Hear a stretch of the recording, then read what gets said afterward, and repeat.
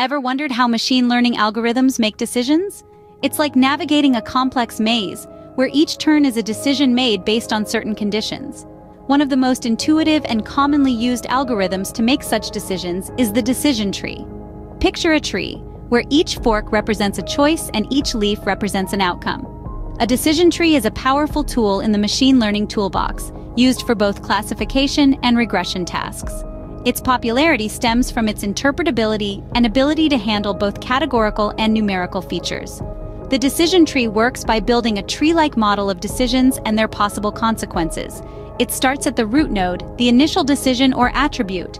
From there, it branches out into internal nodes, each containing further decisions or conditions.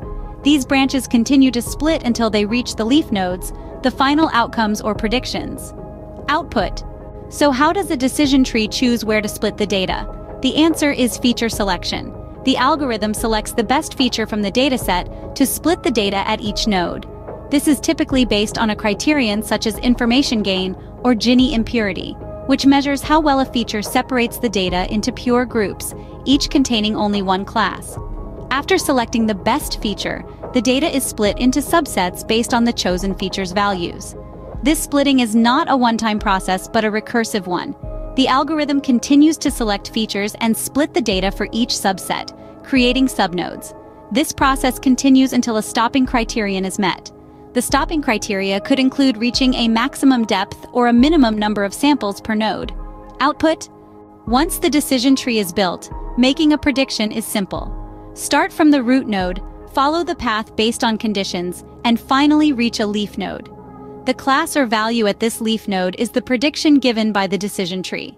In a nutshell, decision trees are a type of machine learning algorithm that makes decisions by building a tree-like model. It starts with a root node, splits the data based on feature selection, creates internal nodes, and ends with leaf nodes, which are the final predictions.